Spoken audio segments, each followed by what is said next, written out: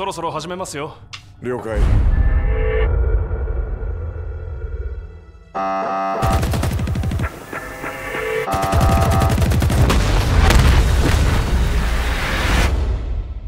何があったの？全員だ命を落とした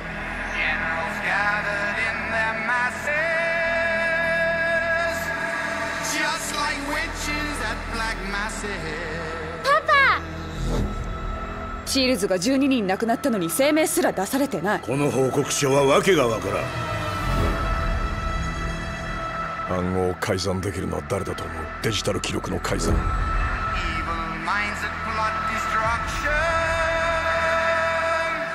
ああそれは相当権力を持ったやつ.頭痛。妄想や記憶障害も。俺は行かれてない。誰かがそれを証明しないと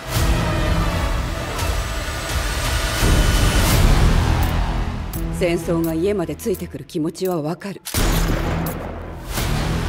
あなたには心穏やかに過ごしてほしい。ミッションは終わったの。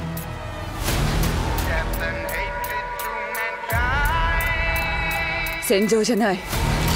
家よ。戦場とは違う。もう同じだ。こんなことさせられない。あの任務で体に異変が。